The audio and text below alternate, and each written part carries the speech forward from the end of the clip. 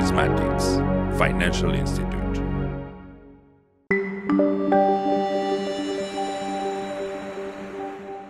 So traditional analysis is hypothesis based. So what that means is in order for us to analyze data, somebody needs to ask a question, right? This, this is the usual statistics. And the question has to be yes, no question, right? So for example, we can uh, look, ask the data and, and say, hey data, do you think the price of the stock is going to go up tomorrow based on the data we have? So that's a yes, no question. And then after we form this yes, no question, and, and the question is definitely formed by person, by, by a human researcher. So it's the question is biased. It's not, not naturally biased by the person's experience, uh, by this person's um, ability to ask questions, right? By this person's kind of universe, the ability to see outside of the box. Um, so it's it's only this question is only going to be as good as the person who is asking the question. So, but let's say that we have a question and then we're going to take this question to the data and we're going to torture the data until we get the yes no question, usually in the form that we like. So if we're if we're convinced that there has to be some predictability, we can tweak the analysis in such a way that eventually it will say, okay, okay, there may be some predictability, okay, if there's no obvious predictability. So it's it's basically traditional analysis. That's how traditional analysis works. Now, if we look to big data analysis on, on the right side of, of the page, we have three different types of uh, groups of uh, big data analyses. So the first one is the supervised learning, which works in many in many respects like the traditional analysis.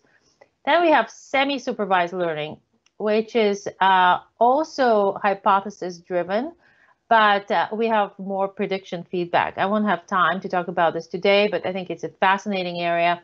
And it's really uh, the semi-supervised learning is something that allows you to copy the um, kind of wrap a system around a human uh, expert's head.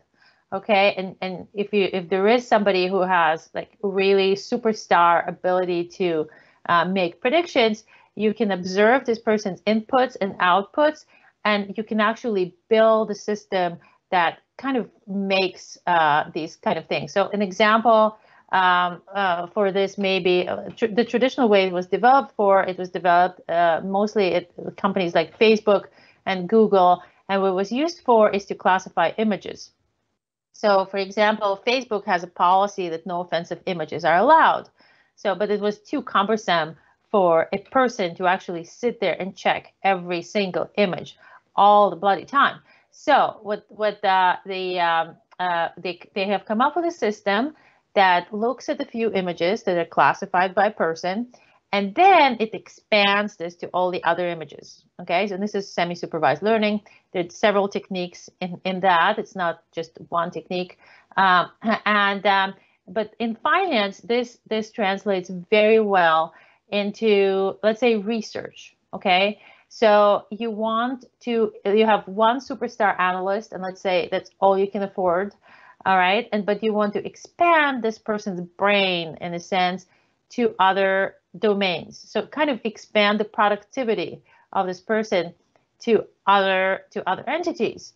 All right. So let's say this person is focused on on specific stocks, but you want this person to to to handle more breadths, so more breadth of data.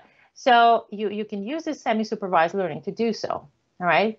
And for even better result, you would have semi-supervised learning produce some results, and then you would feed them, basically give them back to, to the person to review.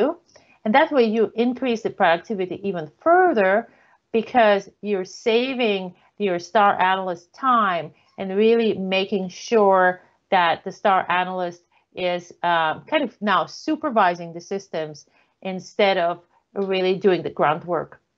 So you're letting the semi-supervised learning do the grunt work uh, for you, for your organization. Okay, and then we can we have unsupervised learning, which is amazing. It's it's it's completely different from the traditional universe. And here we let the data speak for themselves. So um, we really are basically asking the data, we're giving the unsupervised learning models uh, the data, and it's and I'll show you it should be dirty, completely unpolished data, and we say, "Hey, data, tell us what you think." Okay, and the data tells you what you think. Now, there's still a range. There's still need to interpret the findings. It's not exactly straightforward. So you still need a person to translate essentially what the data is saying into the human language. We have not yet evolved these systems to the point where we can actually translate automatically, but I'm sure it's coming.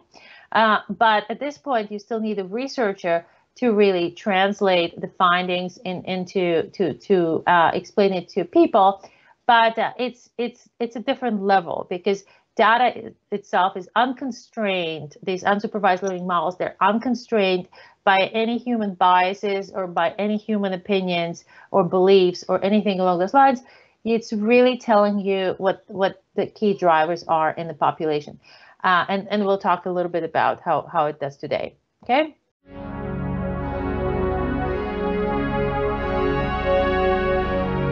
RiskMathics Financial Institute.